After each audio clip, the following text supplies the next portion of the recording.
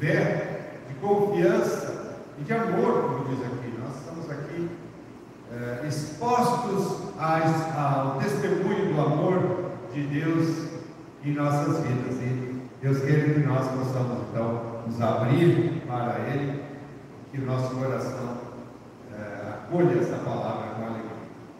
Nos reunimos aqui em nome de Deus, Pai, Filho e Espírito Santo. Amém. Nós iniciamos cantando o canto de acolhimento, canto 17. Nós estamos aqui reunidos em nome do nosso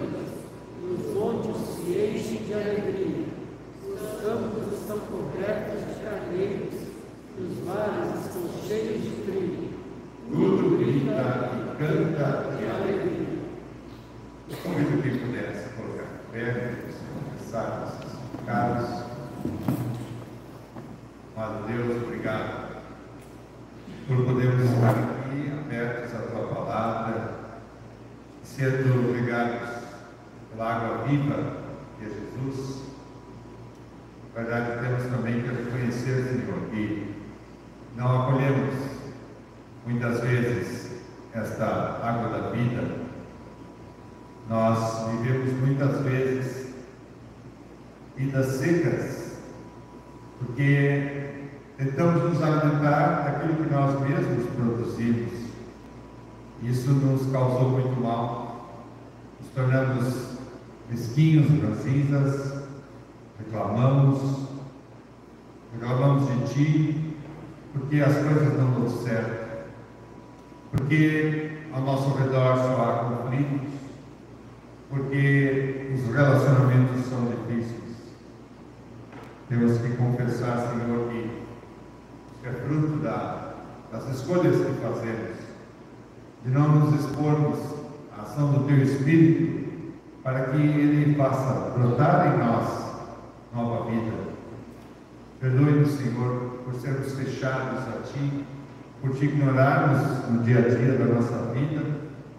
Perdoe-nos, Senhor, por sermos tão ensimesmados, egocêntricos, deixando assim de experimentar tudo o que de bom Tu nos queres dar. Por isso nós Te buscamos nesta manhã, confessando nossos pecados, confiando na Tua graça. Em nome de Jesus. Cantamos, ouve, Senhor, meu clamor.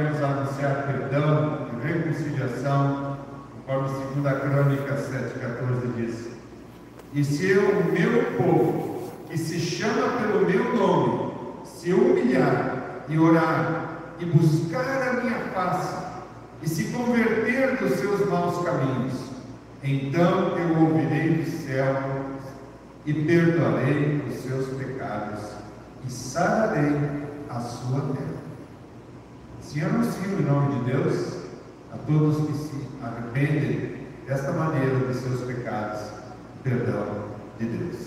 Amém.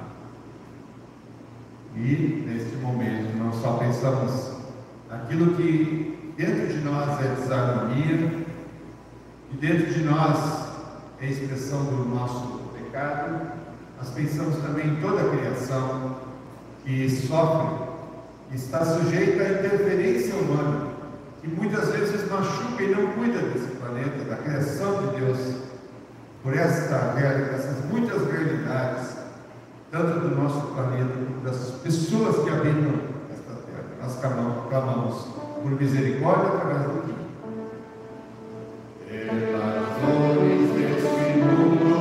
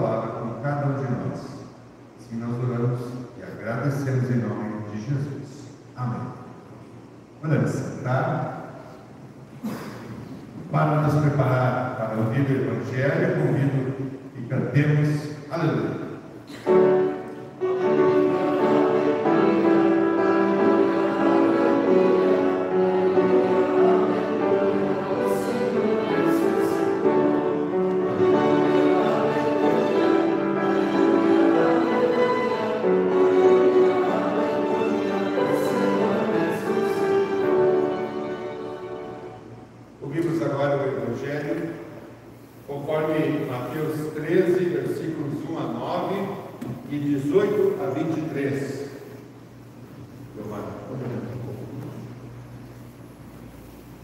Naquele mesmo dia, Jesus saiu da, de casa, foi para a beira do lago da Galileia, sentou-se ali e começou a ensinar. A multidão que se ajuntou em volta dele era tão grande que ele entrou num barco e sentou-se e o povo ficou em pé na praia. Jesus usou parábolas para ensinar muitas coisas. E ele disse: Escutem, certo homem saiu para semear. Quando estava espalhando as sementes, algumas caíram na beira do caminho e os passarinhos comeram tudo. Outra parte das sementes caiu no lugar onde havia muitas pedras e pouca terra. As sementes brotaram logo porque a terra não era funda. Mas quando o sol apareceu, queimou as plantas e elas secaram porque não tinham raízes.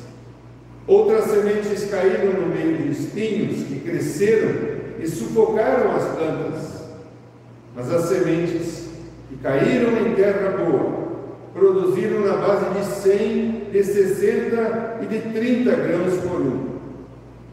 E Jesus terminou dizendo: Se vocês têm ouvidos para ouvir, então ouçam.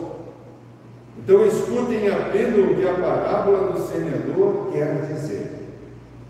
As pessoas que ouvem a mensagem do reino, mas não a entendem, são como as sementes que foram semeadas na beira do caminho. O maligno vem e tira o que foi semeado do coração delas.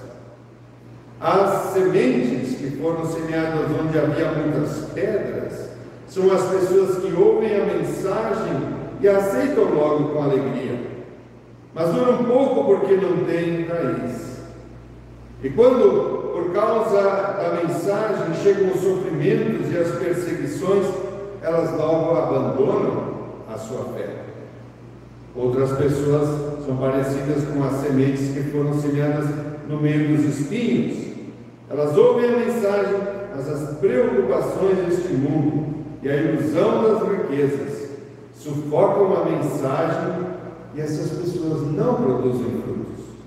E as sementes que foram semeadas em terra boa são aquelas pessoas que ouvem, entendem a mensagem e produzem uma grande colheita umas 100, outras 60, outras ainda 30 vezes mais do que foi semeado. Até aqui o Evangelho, a graça do nosso Senhor Jesus Cristo, o amor do Deus Pai, a comunhão do Espírito, seja com todos nós. Amém. Eh, não lembrei, mas temos transmissão hoje do culto. Um abraço então para quem está em casa, em especial participando do culto. Nós temos uma vez por mês culto com transmissão. Muitas pessoas não podem sair de casa e aprecio muito esse momento que podem participar aqui mesmo assim. Quando eu aprendi a matemática na infância e adolescência, eu sempre ficava pensando, não que eu fosse mau aluno, não, mas ficava sempre pensando, para que serve esse tipo de problema? Fração, equação, eu nunca vou usar isso na vida. Tinha essas crises, nunca vou fazer nada com isso. E quando eu interpretava textos na aula de português, vinha aquelas perguntas para ver se eu tinha entendido o texto, né? Eu achava tão difíceis. Que isso? Complicado a minha vida. Eu preciso aprender mesmo isso. Qualquer pessoa numa escola, qualquer aluno tem que pensar, tem que crer que aqueles professores sabiam algo mais que eu não sabia. Que eu deveria seguir aprendendo mesmo que eu não entendesse naquela hora o valor daquilo, mesmo supondo que eu ia entender um dia o valor daquilo. Não deveria ser arrogante, nem egocêntrico ao ponto de desprezar o ambiente de educação. Mas eu deveria confiar neles, naquelas pessoas tão dedicadas, e aceitar o que elas diziam, isso era para o meu bem. Para quem ensina, é meio complicado, tem uns professores aqui, né? é um certo modo complicado explicar para uma criança que no futuro a vida dela poderá ser melhor se ela souber usar bem aquelas ferramentas do saber. Na verdade, a gente continua até hoje não tendo muita noção do quão importante é ouvir, acolher, do quanto isso pode representar mais adiante algo para o nosso bem. Não estou falando agora pensando só no ensino formal. Eu falo das relações em geral. Com as pessoas, na família. Nós não entendemos o sentido dessas sementes que são semeadas em nossa mente e no nosso coração. Que um dia elas devem crescer e produzir frutos. É muito interessante esse texto, que ele começa dizendo que Jesus saiu de casa, sendo que Jesus não tinha mais casa. Ele vivia só andando por aí. Mas não é verdade. Ele, esse texto começa quando ele sai de Nazaré. Certamente ele foi na casa da sua mãe e seus irmãos. Então, engraçado, né? O assunto da família, da educação, está ali quando ele passa na sua casa, alguma coisa mexe com ele, né? É por acaso. Então que ele sente e conte esta parábola. Mateus colocou Jesus sentado num barco na beira do lago, porque o povo começou a vir em grande número, queria ouvi-lo. E ele ficou na beiradinha da água, não sabia mais para onde ir. Alguém teve a brilhante ideia. Jesus senta no barco, fala daqui. E o povo ficou em pé assistindo na praia. Há duas versões da parábola do semeador na Bíblia, né? Uma versão sem a explicação, que nós chamamos originalmente de parábola. E a parábola é baseada numa situação comum e possui só uma mensagem no final. Nesta interpretação, ah, nesta parábola, a interpretação se concentra no semeador, na atitude do semeador e na expectativa do resultado da semeadura. A segunda versão, que é essa nossa, aliás, eu nunca tinha pego esse texto aqui, é uma versão com explicação, que nós chamamos então de alegoria. E a diferença é que na alegoria, na explicação alegórica, cada elemento da história, no caso da parábola, tem um significado específico. É essa tarefa que nós temos hoje, de entender cada elemento dessa parábola, dessa alegoria, melhor dizer. Ela é muito adequada, essa história, porque ela possui quatro tipos de solo. o pensamento humano se adequa muito a essa lógica do pensamento, a tipologia, né? Nós gostamos de pensar assim, sintetizar tipos de comportamento, e o foco está em como cada tipo de solo vai reagir às sementes colocadas neles.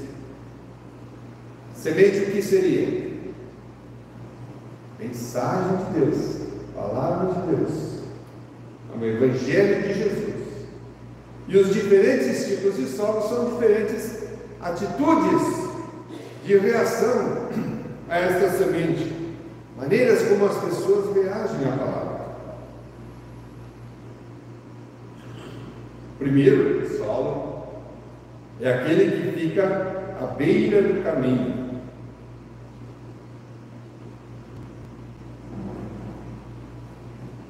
Não é o solo que acolhe essa semente, pois ele não está preparado.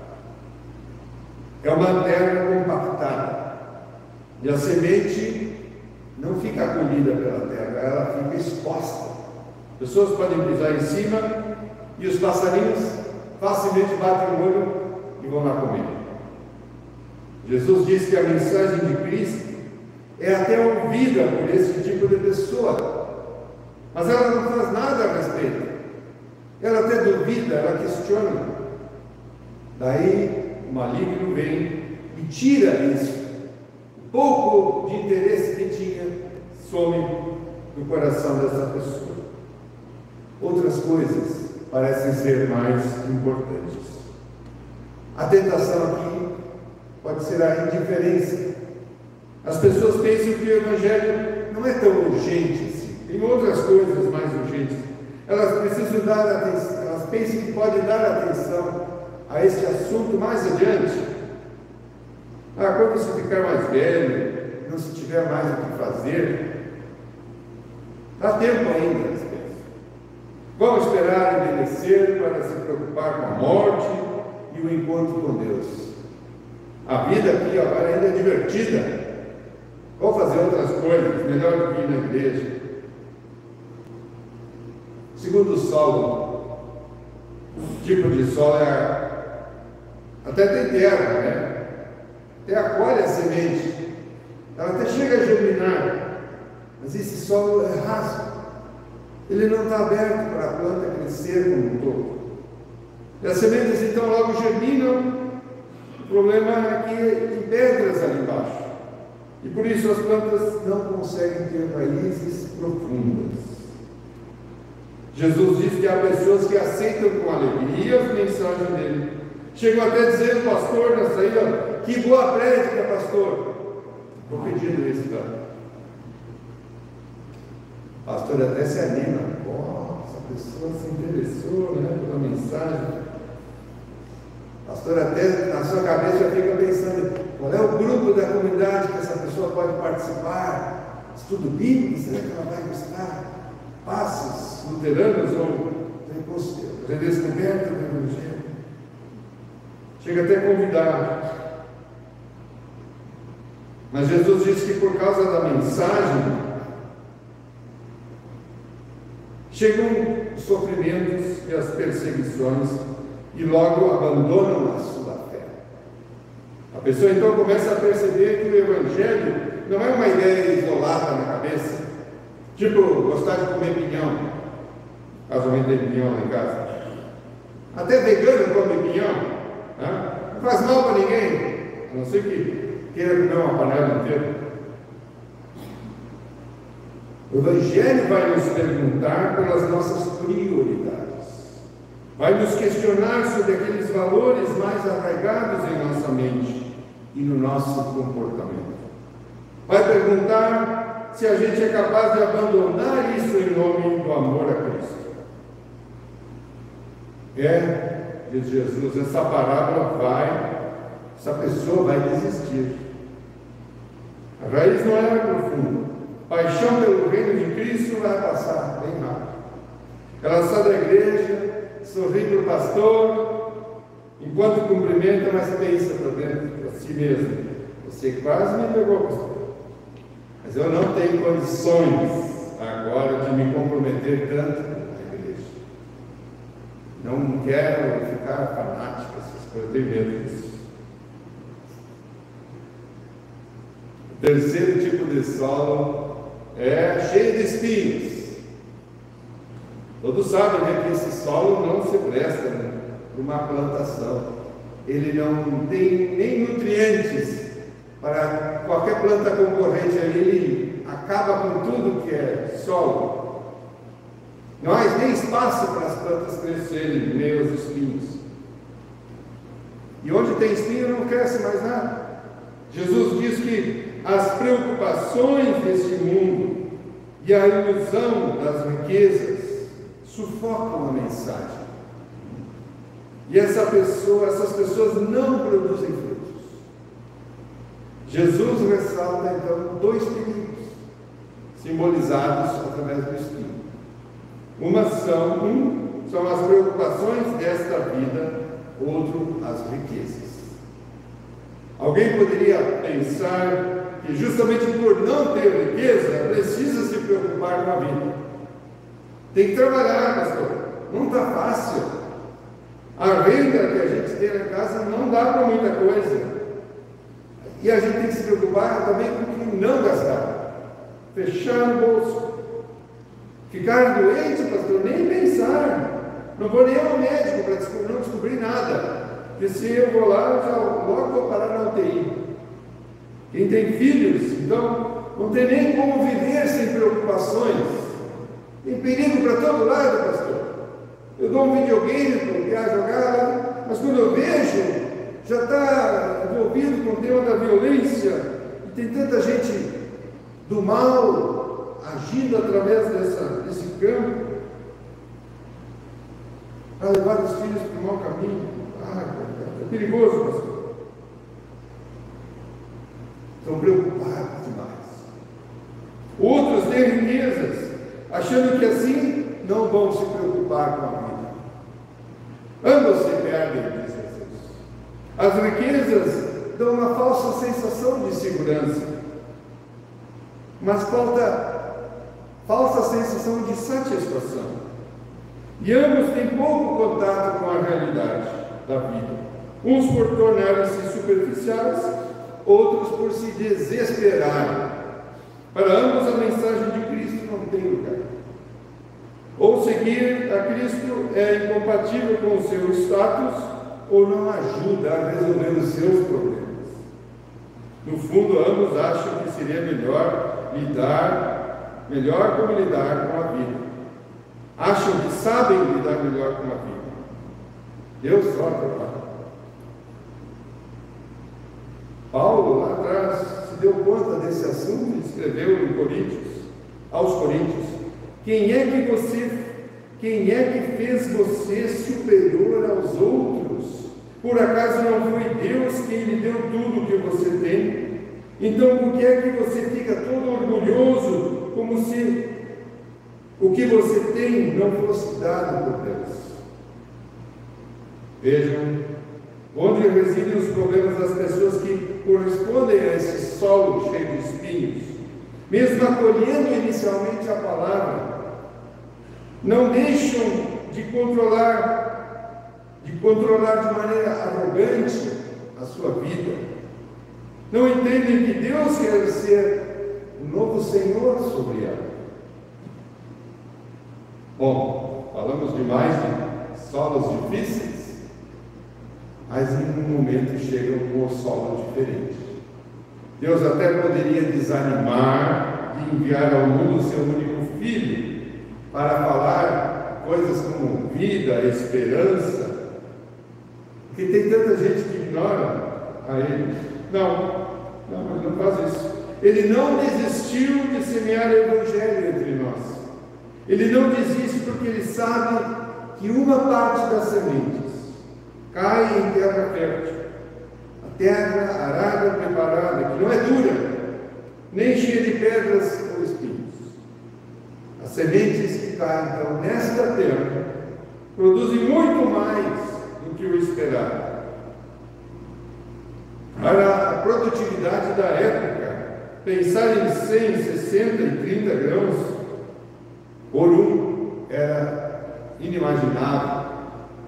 Fui pesquisar sobre isso, porque eu não sou do ramo, e tem produtividades maiores que essa, mas Jesus exagerou, tá? Para a época dele, ele fez uma conta 100 por um, era fora da imaginação de qualquer agricultor da época. Isso só pode ser obra de Deus, através do Espírito Santo, que haja essa produtividade. Como é que se sabe disso? Jesus diz: são aquelas pessoas que ouvem, entendem a mensagem e produzem uma grande colheita. Veja, o nosso texto hoje se concentra bem no tema da semana anterior. Quem acolhe o Evangelho na sua vida é o que ouve e entende. Mas não é só isso. Essa pessoa pratica, mas também não é praticar de maneira desesperada, achando, não, agora vou ser uma boa pessoa. Não, essa pessoa, ela está sob a orientação do Espírito de Deus. Só o seu esforço não basta. Essa pessoa crê que Deus pode mudar a sua vida. Ela vai orar assim, irmão. Deus, eu não sei como mudar a minha vida e a vida da minha família, mas eu acredito que tu podes. Me usa para esta mudança, Deus. Começa mudando a mim. Nessa pessoa ora assim, a semente caiu na terra fértil. Outra pessoa pode orar assim: Deus, eu não sei como sair dessa enrascada em que eu me meti, mas sei que tu podes me libertar. Vou fazer do teu jeito, não do meu. Me ajude. Novamente a semente caiu em terra fértil. Outra situação, e uma pessoa que recebeu uma tarefa, quando enxerga um desafio, não diz, isso não é para mim, não vai dar certo. Não, ela ora, diz Deus, se tu queres me usar, Deus, me capacita, me dá coragem, me diz o que eu tenho que fazer ou o que eu tenho que falar. Conta comigo, Deus. E a semente caiu na terra. Meus queridos, cada vez que vocês ouvem a palavra de Deus, ao ler a Bíblia, ao participar do culto, ou a mesmo assistir a um culto pela internet, como vários estão certamente fazendo, vocês vão ter chance de acolher a semente da palavra de Deus. Não tenham medo. O que vem de Deus sempre é para o nosso bem. O caminho de Deus sempre é melhor do que o nosso. Não desconfiem, mas creiam nele. Na hora da dúvida, desconfiem dos seus pensamentos que querem te desviar, que vão colocar limites, barreiras para a ação de Deus. Resistam. Creiam que o Espírito Santo de Deus é mais poderoso que nossos hábitos errados, que as tentações, mais forte que o nosso medo e até mais forte que o nosso desespero. Creio só há um caminho único para a vida. Deixe a luz de Deus brilhar sobre a tua vida. Ela vai mostrar alternativas que você nunca imaginou, porque você não enxergava. Agora, com essa luz, tudo vai parecer diferente. Caminhos de libertação que você nem imaginava existir. Deus te ajude. A graça e o poder do Espírito Santo. Amém.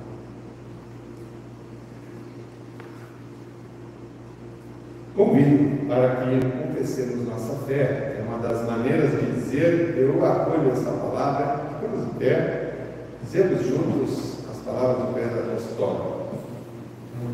Creio em Deus Pai Todo-Poderoso, Criador do céu e da terra, e em Jesus Cristo, seu Filho unigênito, nosso Senhor, o qual foi concebido pelo Espírito Santo, nasceu da Virgem Maria, padeceu sob o poder de Pôncio Pilatos, foi crucificado, morto sepultado, desceu ao mundo dos mortos, ressuscitou no terceiro dia, subiu ao céu, está sentado à direita de Deus Pai Todo-Poderoso, de onde virá para julgar os vivos e os mortos. Creio no Espírito Santo, na Santa Igreja Cristã, a comunhão dos santos, na remissão dos pecados, na ressurreição do corpo e na vida eterna. Amém. Sentar. Nós vamos cantar agora um canto chamado A Palavra. Enquanto isso, vamos fazer a oferta, que é destinada hoje para a nossa própria comunidade. A diretoria está muito empenhada em revitalizar espaços para a comunidade. Um deles é a nossa pracinha para as crianças, tá? Antiga, né, Léo? Do nosso tempo lá. Ainda é a mesma, só dá uma renovada, os brinquedos mudaram. E por isso queremos pedir essa ajuda para fazer um fundo para iniciarmos esta, esta obra. Tá bom? Muito obrigado por tudo. Cantamos.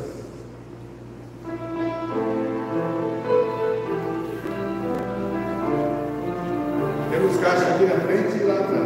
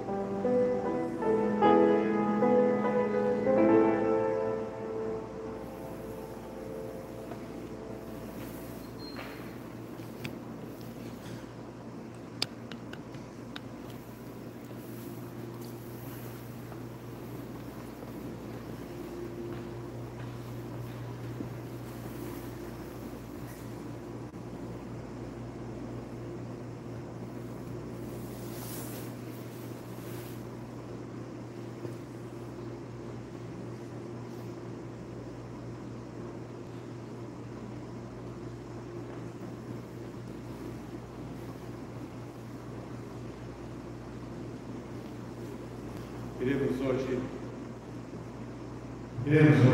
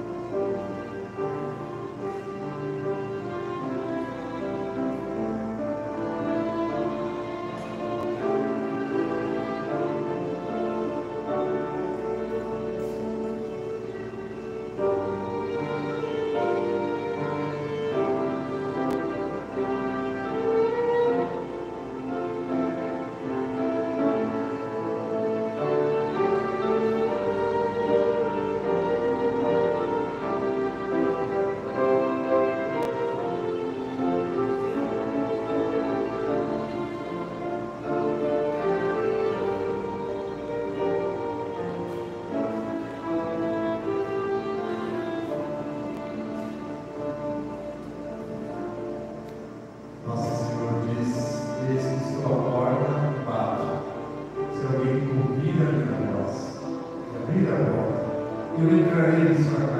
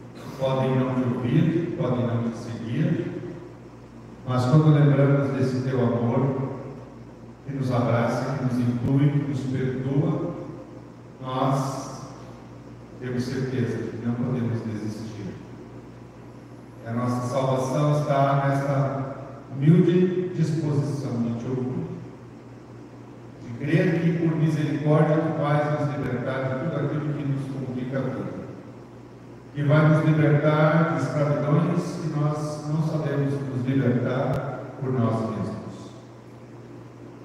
Permita também, Senhor, que esta palavra não só faça bem para nós, mas que ela passe por nós e chegue até as outras pessoas. Cada um de nós, quando se dá conta do amor que nós recebemos de Ti, tenha certeza de que muitas pessoas deveriam também saber da mesma notícia. Por isso, faça de nós pequenos missionários.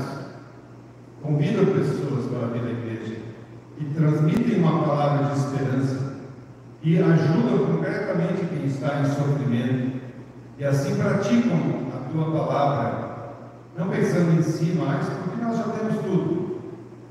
Tu nos deste toda, tudo o que precisávamos. Nós temos agora tempo, disposição e amor para ajudar o próximo. Que pratiquemos esta palavra neste mundo carente de esperança, carente de solidariedade, carente de luz.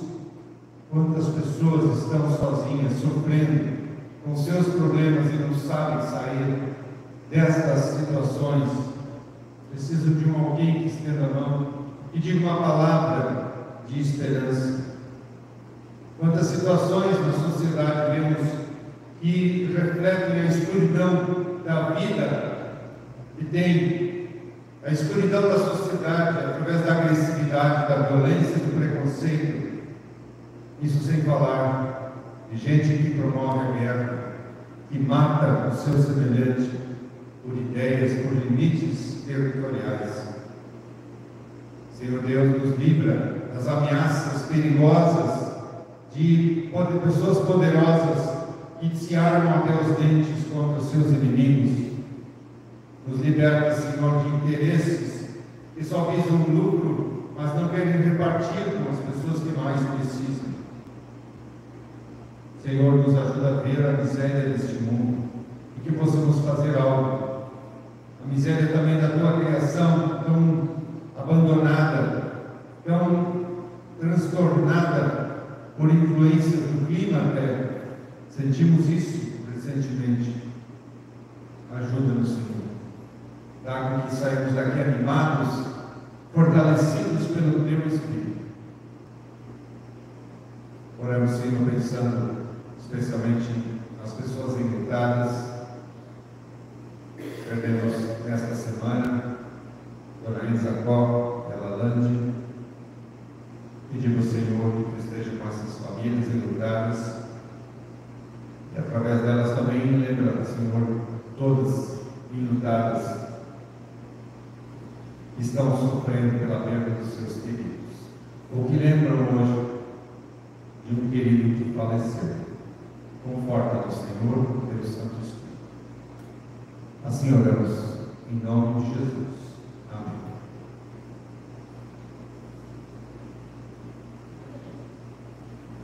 Recebamos a bênção de Deus. Que o Senhor te abençoe e te guarde. Que o Senhor resplandeça o seu olhar sobre ti e ao veres este brilho do olhar de Deus sobre ti, creias que este olhar é de amor e de perdão. Que a bênção do Filho Deus, do Pai, do Filho e do Espírito Santo, venha sobre ti permaneça contigo, hoje e sempre. Amém. Podemos sentar.